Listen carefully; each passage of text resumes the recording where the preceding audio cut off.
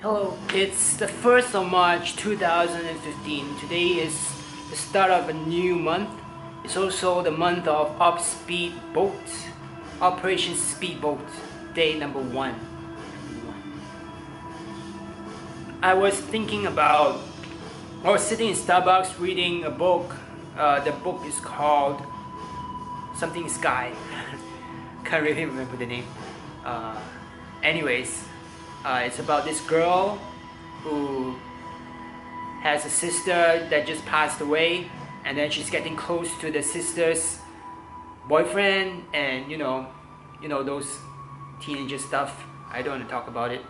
Anyways, uh, it's it's a good book, uh, very creative because the poems that she writes are sort of like written in with hand it's written with the hand and it's not typed it's not like normal print it's like a like a like a scrap paper.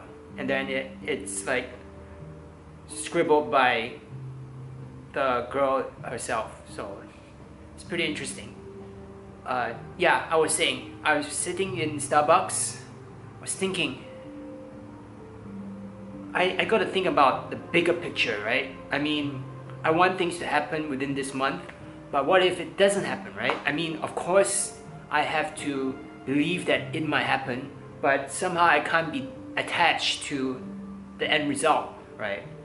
So I was thinking that, yeah, I mean, I'm living a probably a very comfortable existence.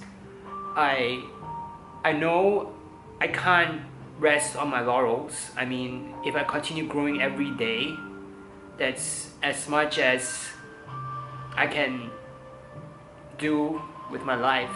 I mean, of course I'm hungry. Of course I probably learn things and write my books and go out there and meet people and you know live life, you know. But I mean, I'm not saying that I'm just gonna say, ah, I'm very comfortable. I'm just gonna relax and watch TV and play games all day, you know. I'm not saying that. I mean, I'm I'm growing and I mean that's I mean as long as I keep developing my skills I mean that's that's as much as I think I can do with my life at this point. I love my life.